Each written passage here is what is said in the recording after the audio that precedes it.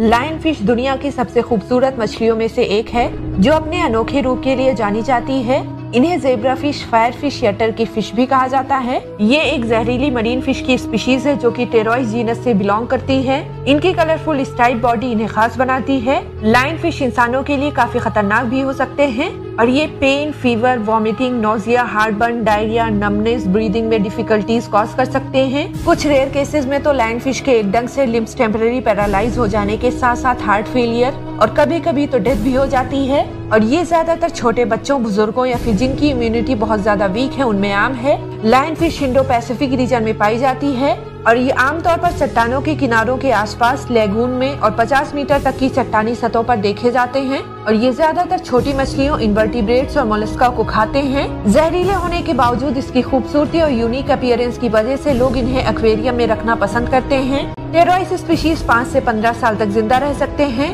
और ये complex courtship और मेटिंग बिहेवियर शो करते हैं। फीमेल लायन फ़िश दो म्यूकस फिल्ड, एक क्लस्टर्स रिलीज़ करती हैं। जिसमें पंद्रह हज़ार तक के अंडे हो सकते हैं और इन अंडों की देखभाल में लाइन फ़िश करते हैं।